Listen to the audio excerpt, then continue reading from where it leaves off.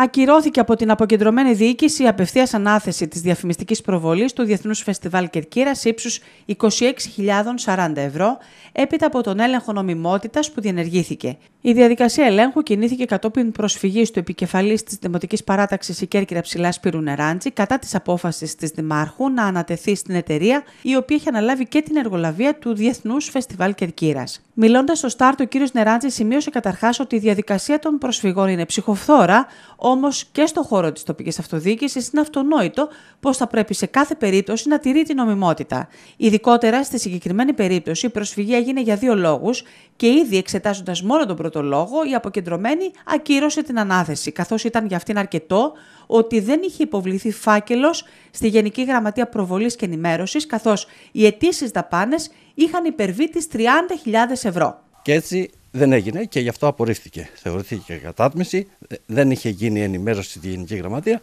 και απορρίφθηκε. Ένας πολύ σημαντικός όμως λόγος, γιατί αυτό είναι το τυπικό που κανείς θα μπορούσε να πει εντάξει, δεν, ε, μην ασχολούμαστε με τόσο τυπικότητες. Που είναι το αυτονόητο, γιατί αν τα λύσουμε για αυτά, η ζωή μας θα είναι πιο εύκολη. Το πιο σημαντικό είναι ότι ενώ ήταν για ένα πρόγραμμα χρηματοδοτούμενο, δεν πήγαμε στη διαχειριστική αρχή για να πάρουμε τα χρήματα αυτά, γιατί είμαστε υπέρ της προβολής και υπέρ του φεστιβάλ, αλλά να γίνεται νόμιμα. Και αποφασίσαμε να τα πληρώσει ο Δήμος. Αυτό εμάς μας πονάει.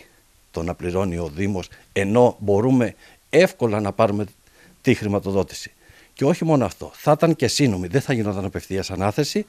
Θα έχει προβλέψει όλα η νομοθεσία. Θα κάνουμε τροποποίηση τεχνικού προγράμματος. Θα παίρναμε τα χρήματα από τη διαχειριστική και θα κάνουμε επέκταση της ήδη υπάρχουσας σύμβασης.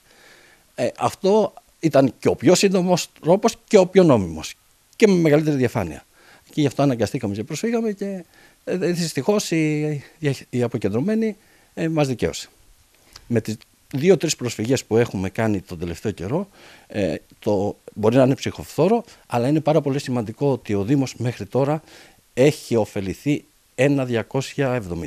Στη συγκεκριμένη περίπτωση, ποια ήταν η αντίδραση της Δημοτικής Αρχής; Ε, στο Δημοτικό Συμβούλιο που έκανε ερώτηση ο κύριος Καρίδης για το συγκεκριμένο θέμα, ε, η Δήμαρχος απάντησε η Δημοτική Αρχή ότι δεν είναι ενημερωμένη ακόμα για το αποτέλεσμα της προσφυγής.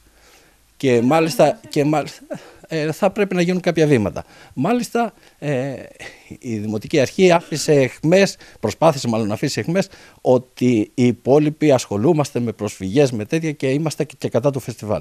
Δεν ισχύει κάτι τέτοιο. Κανείς δεν είπε όχι στο φεστιβάλ, όχι στις προβολές, όλα όμως θα πρέπει να γίνονται σύμφωνα με την νομοθεσία.